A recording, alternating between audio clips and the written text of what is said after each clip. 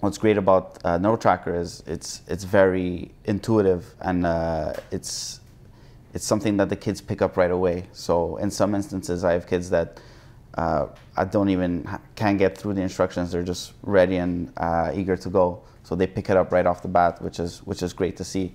So we're able to take this and uh, apply it in the classroom and school settings to really see how it can uh, improve and and uh, everyday attention, both to um, learning disabled populations as well as typical populations. We get a lot of students that say like, I actually feel my attention at work when I'm uh, doing this. They can actually feel it, like turn around to me and say, my brain's working right now. They actually remember their score from the day before or from uh, the weeks past and they're like, I'm learning, I'm learning, I'm improving, I'm improving.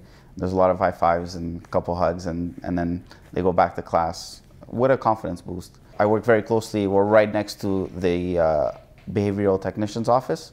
So we have um, behavioral tech constantly giving us feedback like, I can't believe he's sitting in the class so quietly. I can't believe he's, he's, uh, he's changed his behavior or I've never seen him be able to sit that still for so long. The best day is always the first day when I show them the setup and they sit down in the chair and they put on the glasses. It's like a surreal moment for them where it's, it's something special, something out of the ordinary and that they look forward to the next session uh, from day to day.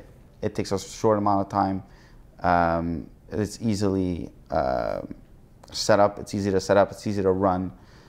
Uh, in that case, once you have all those kind of checked off, then you can really see how it's easy and how it can be applied, not only in the classroom, uh, not only in the schools, but at home as well.